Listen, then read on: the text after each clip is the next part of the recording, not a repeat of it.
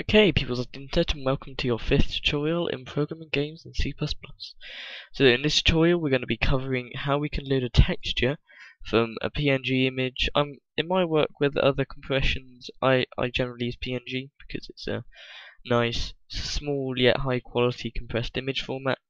And we're going to learn how to uh, basically load them in instead of having to use colors.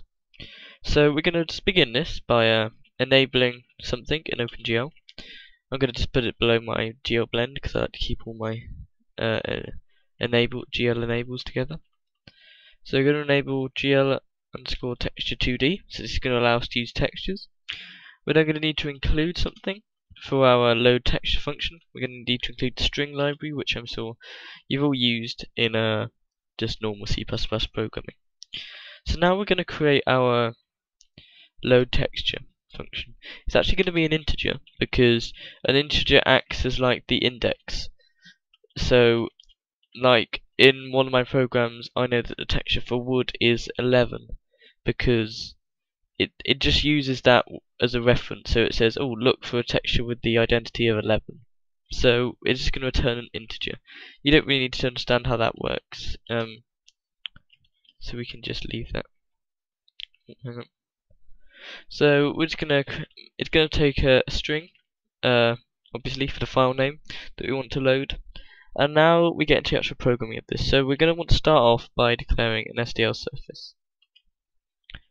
And it's gonna be a pointer. I'm gonna call it image, you can call it whatever you like. And it's going to load in an image. And we're gonna say file name. And for this you'll need to put dot CSTR. This basically means that we're loading it in as a as a C style function instead of a C style string instead of a a um, C++ style string because they're different. Apparently, SDL doesn't like us using that. Uh, we're then going to have to use a special bit of code that you wouldn't not you don't have to have this, but I'd recommend you put this in. Uh, SDL display format alpha image, what this is going to do is it's going to pick up any alpha channels, transparency, uh, from our image that we've declared, which is really, really helpful because you don't want to have to be like removing colors and stuff all the time from I'm getting a getting Steam and Skype messages here. Um, let me just quit Skype, sorry about this. Um, there goes the Skype sound. Um, so yeah, so it's basically going to tell us SDLT transparency on the image. So now we're going to create an unsigned object. This is basically a type of variable we're just going to uh, load our image into. then going to put glgen textures. We're just going to put a 1 in because we are, we're only rendering one texture. And we're going to create a wraparound to the object that we just created. Right, so now we have to put in a ton of OpenGL commands to tell Open. No, we don't. Hang on, missed a bit. Um, we're gonna have to create a GL bind texture before we do this, so that um, so that we are we're using these parameters on the correct thing. So we haven't yet actually added a texture to object, but we're gonna tell OpenGL how to process it first. So we're going to need to put four text texture parameters in. So you just put text parameter f like so, and we're just going to copy that out four times. So in the first one, there's quite a lot of writing to be done here. We're going to put gl un underscore texture 2d to tell it using a tier, uh, there, text, uh, 2d texture. And um, so we're gonna now put something called the min filter, and the minimum filter is pretty much what it what it sounds like. It's the minimum of its kind of filtering ability, and we're gonna. This is the important bit here. We're gonna set this to GL nearest. Now what this is gonna do is if it has pixels overlapping where other pixels should be, it's going to. If you did a you can do this, you can put GL linear, and that's going to make your text a lot smoother. But if you're going for a pixely look to your game, which I'm going to be doing in the tutorials, then you're going to want to put a nearest filter on it. We're then gonna copy that again, except, except change that to mag, not min. And then we need to add two things. Now, the, again, these you don't need in. These are only here to process the alpha channel. And why am I adding these manually? I've already copied them out four times. Oh well. Uh, so we're going to put GL texture underscore 2D again. GL underscore texture underscore wrap underscore S GL underscore clamp underscore it it has a lot of kind of underscores that you just have to do in this. Right, so there you go. And we're just going to copy that again, except we are going to take out the S, replace it with a T. Simple as. Uh, now we get into the very main important part of this. You'll need to have this. Uh, this is going to convert our um, SDL surface we declared into a 2D texture that OpenGL can process. So we're going to put GL underscore texture underscore 2D. Oh, I thought I'd done it perfectly there. I uh, spelled it wrong. I was going to be like a ninja, do it really quick. I'm going to put 0, I don't know what that parameter is, don't ask me. Uh, RGBA because we want it to uh, process red, green, blue and alpha. We're then going to want to uh, give it a... Yep, we're then going to want to give it a couple of things to tell it how to process the texture. So we're going to give it the width of the image. We we're going to give it the the width of the image that uh, image image that um, we created. We're going to give it the height of the image. We're calling it an image from now on. Okay, guys, that's how it works. Uh, we then put another zero, and then put GL underscore RGBA again. Don't ask me why. Perhaps the first one is telling you how to process the whole image, and the next one is telling you the image that you're sending to it. Maybe. I don't know. And then going to call an unsigned byte because we declared the object up there as unsigned. And then the important part, we're going to give it all the pixels. There you go. We're going to go here. There you go, FGL. Have, have a ton of pixels. Do stuff with this. And then just to prevent memory leaking, we're going to put SDL free surface image. And then we last bit we need to return not the p not the pbject. We're going to return the object. So now we've got a fully what should be a fully functioning uh, load texture function. Except there's one I how did I forget to do this? There's one very very important thing that you're gonna need to do here. So you're gonna need to, uh, as I said, I'm not doing any tutorials on how to set these things up. Uh, I've got if you go to the first tutorial, there's links to sites that tell you how to do that. I'm going to include the SDL image header file. I think that's what it's called, isn't it? I've got my reference open here. yep, the SDL image file, that's all cool. We're gonna we're gonna be using that. So now we need to I'm just gonna do this quickly, don't want to waste too much time. So in our initialize function, we're going to load a texture. We don't need to do that, let's, let's call a variable up here int text. That's an important thing to note. All your textures will need to be integer variables. You can't just play around with them, make them doubles and floats like you normally would. Um, so here we're going to put text equals load texture. This is the function we just made. And we're going to say, I don't know, I haven't actually got an image loaded ready. I will do that in a second.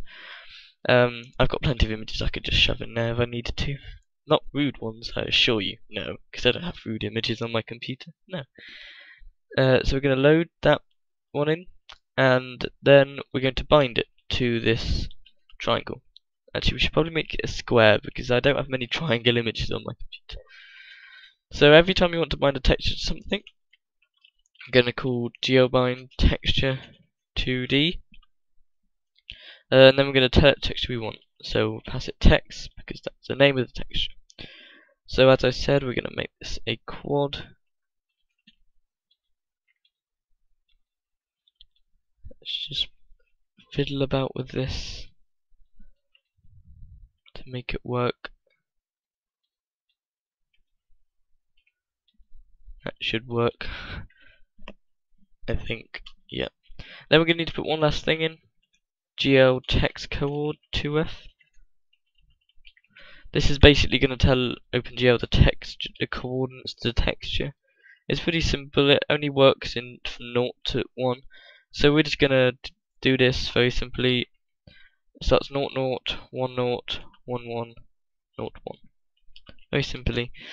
Um, yeah, so the only thing remaining now is to actually get an image onto this area.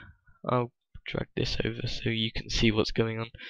Um, let's just choose any random. There we go. A lovely picture of a bottle of beer. Ooh, a lovely bottle of beer. Ooh, yeah. Okay, we're gonna read. Drag this back in. Sorry about that. We're gonna rename this to. Oh, it's a JPEG. We're not gonna be able to use that. Okay. We find a PNG. I'll find one. Lovely Minecraft logo there, but that's a GIF. There you go. Let's get a lovely creeper. Ooh, a creeper. Coming to kill you. Yes, I play Minecraft. Who cares? Delete that. Giving up on beer. I'm gonna call it test.png because that's what we called. And I'm probably gonna get about 10 errors, but it's fine because I'll fix them and I'll get back to you on them. Oh, hang on, hang on, hang on. No, no, no, stop, stop. Phew, I almost, uh, I almost, I almost ran my mystery surprise then. I don't want you to see my mystery surprise. GL text image 2D was not declared in this scope. Okay, right. Uh, a couple of people have been having this issue. Um, and I am, it would seem. Uh, I'm gonna put this in the well it will be in the source code as in every tutorial the source code is there's a link to the paste bin in the description you can just copy this off the source code it basically uh, manually defines those things instead of uh because you see we got an error there um, geotext 2D was not declared in the scope Oh, this is bad. Oh, it's because we need capital D there. That's why. Yeah, there you go. It's picked it up. Um, line 49.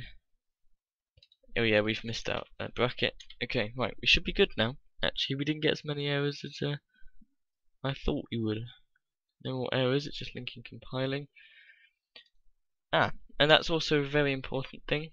You're going to need to include all the necessary DLL files. I'm just going to copy them over for my for my own thing. Copy um, I'm not sure I'm going to need the uh, libpng. I might need zlib as well. I'm not. I'm not sure. You guys can play about, see which ones you actually need. I'm just going to copy over pretty much all of them, so, uh, so that I know that they're actually working. Build and run. Target is up to date. Process return three. So if your process returns three, uh, it means that it failed to find the file you were talking about. So you're going to need to go back and you're going to need to uh, find what was the issue with it. And in this one, the issue was um yeah I, I know what the issue is um oh god um oh uh, why would you just not work like this? I mean, seriously. Like, can you not just work for once? Is that too much to ask? Okay, I'm gonna stop the recording and come back when it's uh, decided to work. It's not being an idiot. Okay guys, I'm back. It was literally 5 seconds that it took me to fix that. The issue was with the formatting on it. Um, if you if you guys have this issue and you're pages aren't formatting right, I'll do a tutorial, a short tutorial, showing you the actual uh, rendering techniques you're going to need to uh, to make this work. But um, for now, I'm just going to hope you guys don't have this issue. If you do, tell me, and I'll make a tutorial on all the on all the special options you'll need tick and stuff to make your PNGs. So there you go, we've got a nice picture of a nice man in a very purple hat. It's a very lovely purple hat, I have to say.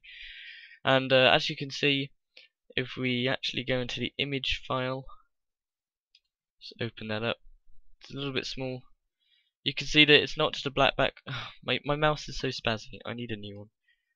It's not actually like a black background we've applied to it. It's transparency, and that's trans gone transparent with the background, which is fantabby dozy, fantabby dozy. So uh, yeah, this has been a relatively long one, but I hope you've you've found a good knowledge from it. Good knowledge. That's not even the right way of putting it. But yeah, I hope you've enjoyed it, and uh, of course you haven't enjoyed it. It's learning. Um, I hope you've enjoyed it. Uh, apologies that there wasn't a tutorial yesterday. I have set myself a pretty high goal uploading two a day. There probably won't be two today because this was quite a long one. Uh, but yeah, I shall see you guys next time and get into programming some more games.